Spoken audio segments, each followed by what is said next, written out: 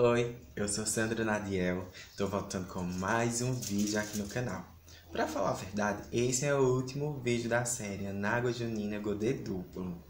Nele você vai aprender todo o processo, desde, desde de, de cortar é, centímetro, largura, quanto que eu vou usar de fita, é, o processo de preparação, todo o processo de, de preparação, na verdade, do filó, desses babados para poder, por último, a gente começar a costurar naquela base que, por sinal, a gente fez no vídeo anterior. Então, já fica ligadinho, não perde nada, nada, nada desse vídeo, nenhum detalhe, porque vai ser muito importante que você assista do começo ao fim para você ficar por dentro de todos os detalhes. Mas antes da gente começar o vídeo, eu peço que vocês me ajudem a divulgar esse vídeo. É só você fazer curtir, comentar, compartilhar.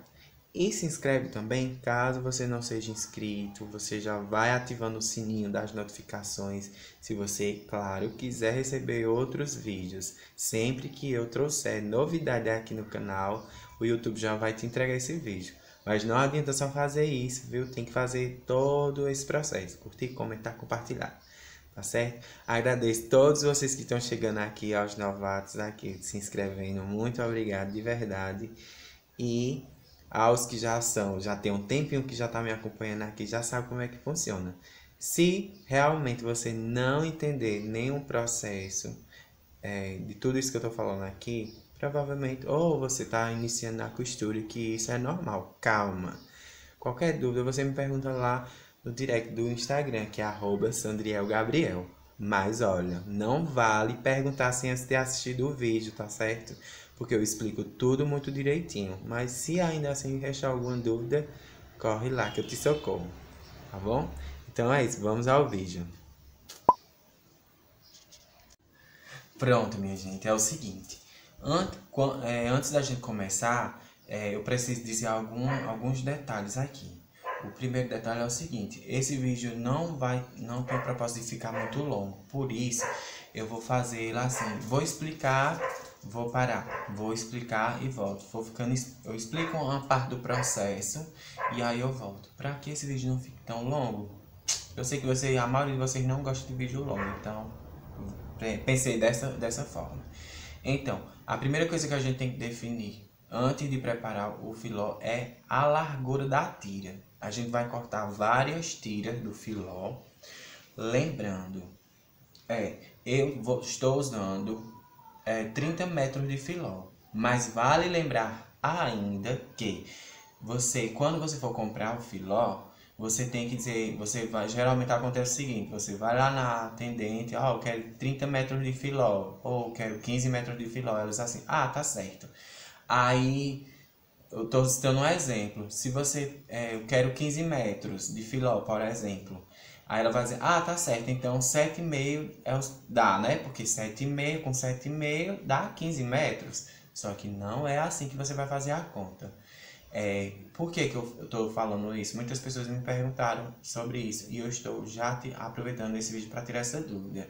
O filó a gente compra o comprimento, não compra a largura. A largura desse filó aqui de bobina, ele tem é, 3 metros de largura. Então, por isso daí aquela conta. 7,5 com 7,5, né? Dá 15, ok. Você vai pedir 30 metros para fazer essa saia com, as, com godê duplo. Eu estou usando o dobro. Então, separei 15 metros e mais 15 metros. Vou cortar primeiro esse, mas eu não vou mostrar para vocês cortando para não ficar grande o vídeo. Então, aqui na minha mesa eu fiz o seguinte, eu escolhi esse comprimento, esse comprimento de largura da minha tira, 18 centímetros. E aí coloquei um fitilho de uma ponta à outra da minha mesa, porque isso vai fazer, quando eu jogar o filó por cima, eu vou conseguir enxergar. Então isso aqui vai ser minha referência de largura. Eu vou passar minha tesoura aqui sobre essa linha. Mas antes eu vou fazer, é, tipo, colocar várias camadas, uma sobre a outra. Eu vou colocar três camadas, que é o suficiente. Ó, se eu colocar mais uma camada aqui, ó, ó, eu ainda vou conseguir enxergar. Vocês não vão enxergar daí, mas eu que tô aqui, né, claro, eu vou conseguir enxergar. Então isso aqui vai ser meu parâmetro de largura.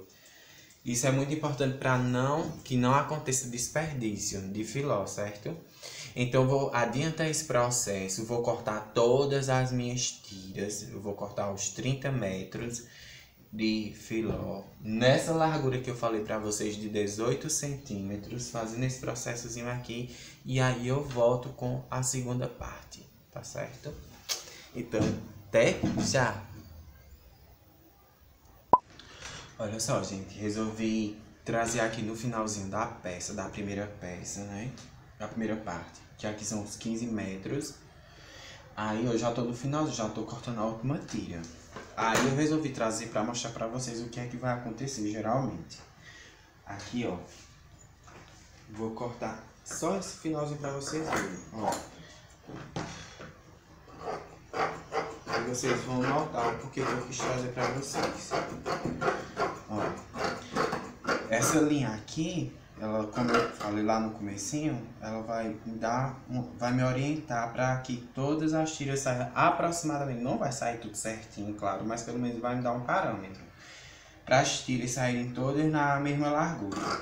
E aí, eu sempre coloco a dobra do filó por último, para cortar por último, porque vocês já vão entender o, o que é que eu vou fazer com essa suposta sobra, ó. Aqui não dá 18 centímetros, essa sobra aqui não dá 18 centímetros dupla. Vê, vou terminar aqui e vou explicar. Ó.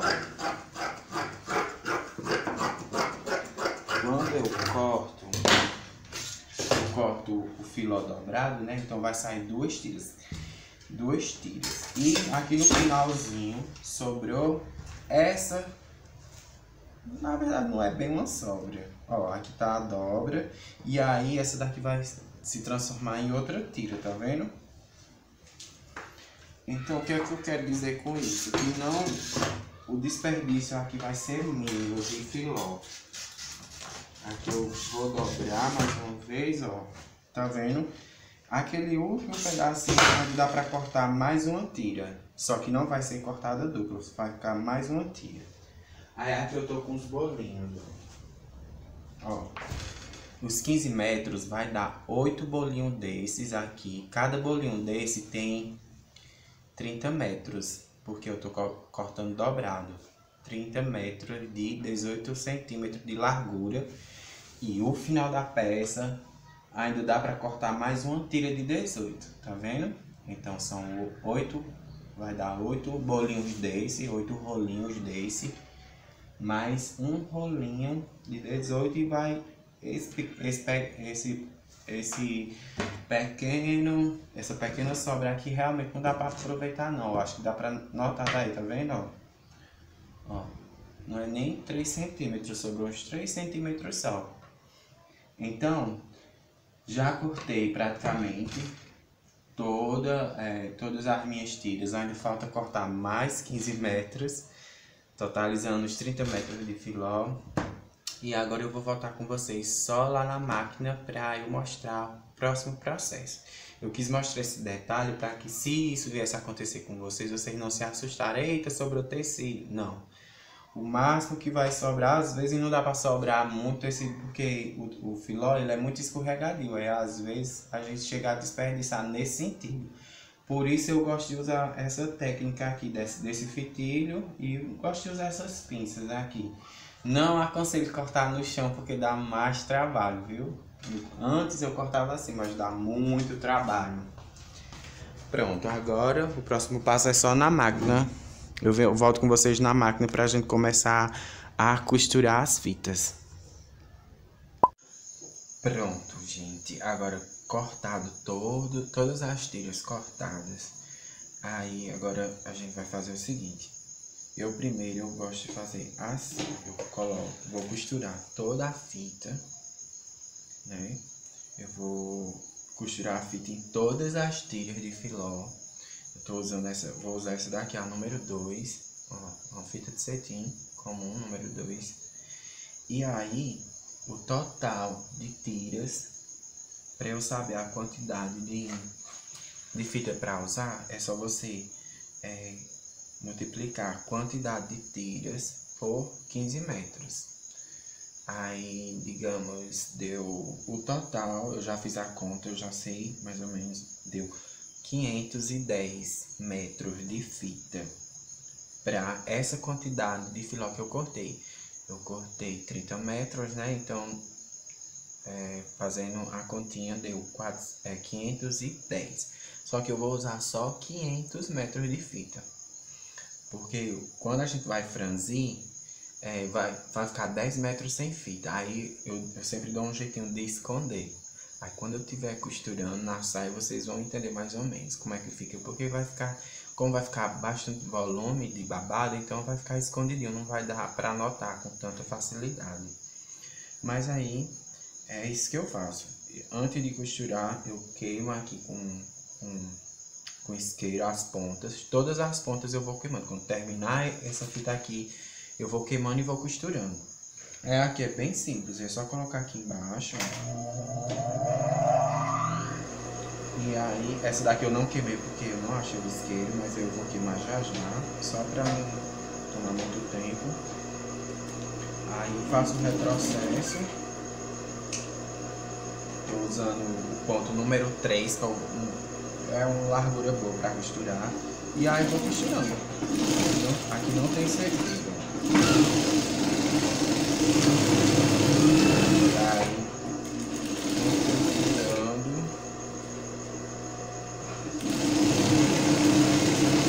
uma boa parte, só que naquele, mesmo jeito. Vou costurando, fazendo uma parte e aí paro, eu paro e depois volto.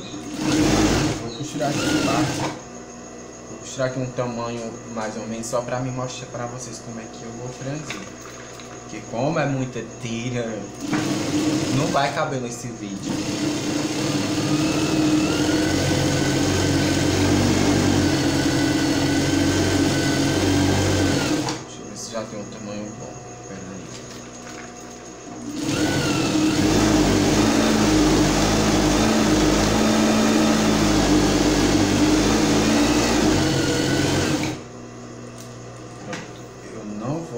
Aqui porque é só para me demonstrar para vocês. Já costurei um bom pedaço. Aí quando eu terminar de costurar toda a fita e todas as tiras de filó que estão todas ali em cima, os bolinhos. Aí como é que eu vou franzir? Ó, deixa eu ver se vai dar pra notar. Ó, você vai fazer isso. Digamos que eu terminei tudo. Aí eu venho aqui, ó, colocar aqui embaixo e aí eu vou juntando assim, ó. Vou fazendo, juntando com os dedos assim, vou colocando lá embaixo da sapatilha. Só que antes, ó. Ó, aqui foi a forma como eu costurei embaixo. Aí eu vou colocar é, a parte direita pra baixo. Ó, aqui vai ficar o avesso, ó. Você coloca o avesso pra você. Pra poder franzir deixando a fita desse lado de cá. E aí junta. Aqui você não vai economizar na, na questão do franzir. Quanto mais você colocar o volume de tecido embaixo da sapatilha, melhor. Você vai fazendo esse movimento aqui assim, e vai costurando lá pra baixo.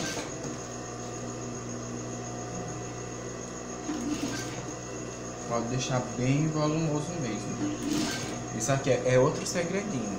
Quanto mais você fazer esse movimento aqui, ó, automaticamente vai fazendo esses S's assim, ó. Se ele ficar, se ele não ficar muito juntinho, não vai ficar aquele efeito bem volumoso.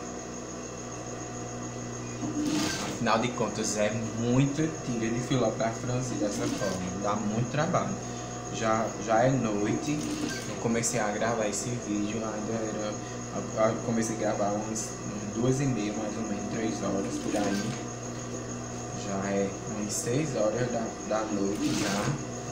E eu ainda tô aqui. Ó, eu vou franzir ele todinho pra mostrar pra vocês de pertinho. Ó, vai colocando. Pronto. Olha só como é que fica.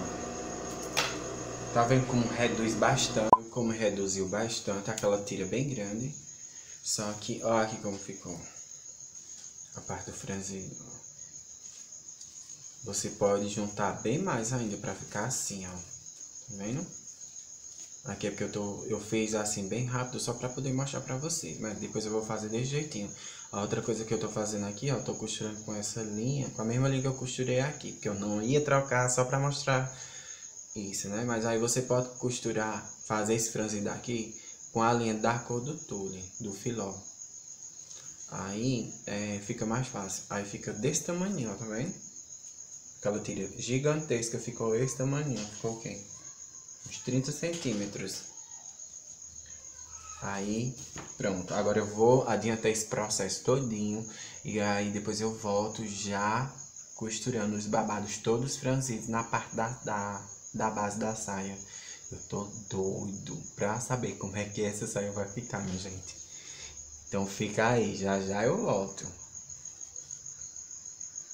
Gente, olha, infelizmente eu vou ter que gravar outro vídeo pra gente fazer a parte final dessa série. Eu, eu juro por tudo que eu achava que ia dar certo eu terminar só em quatro vídeos, mas pelo visto não. Esse vídeo vai ficar enorme.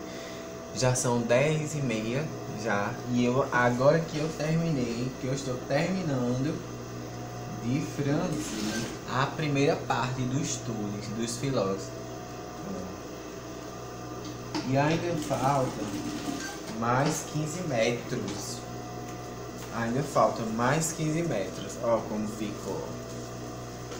Deixa eu mostrar pra vocês. Ainda falta tudo aquilo ali, ó. Isso ali ainda falta costurar o, as fitas e depois franzir. E... E por hoje é só. E por hoje é só. Mas não esquece de é, recomendar esse vídeo para alguém, de curtir, comentar e compartilhar. É, se inscreve caso tu não seja inscrito. Qualquer coisa me segue lá no meu Instagram que é arroba Gabriel. Se surgir qualquer uma dúvida em relação a essa parte aqui, é só comenta aqui embaixo. Se eu não conseguir te responder aqui, tu vai lá no direct no Instagram que aí eu dou um jeitinho de responder. Agora, assiste também os vídeos, tá bom? Até o finalzinho. Mas eu prometo que no próximo vídeo a gente vai finalizar essa saia e a gente vai conferir juntinhos como que vai ficar essa saia. Godê, com esse godê duplo, pelo amor de Deus, eu tô morrendo de ansiedade.